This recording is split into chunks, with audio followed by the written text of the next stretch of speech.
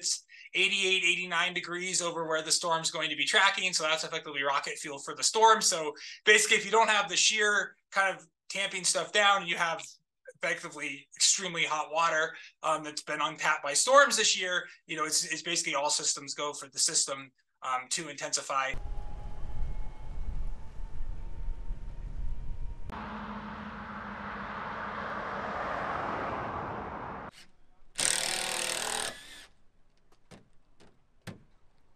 And obviously Katrina was horrible, but it was weakening as it came on shore. And that was kind of the, the old way storms behaved in the Northern Gulf. But recently we've seen a lot of these storms rapidly intensifying up up to or almost up to the point of landfall. And you think about, you know, Ian was rapidly intensifying almost up to the point of landfall weekend right before it came on shore, but it was ramping up really quick.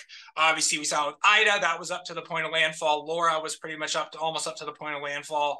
Harvey was rapidly intensifying pretty much up to the point of landfall. We've seen a lot of these, even Hurricane Sally, a lot of these storms, not every storm, but a lot of these ones kind of spinning up right up to they slammed on shore.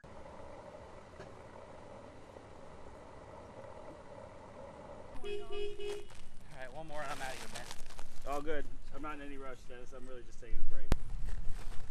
Even though the storm may, right now may, you know, not look super deadly and scary, it will be, you know, by the time it comes on shore in 24 hours.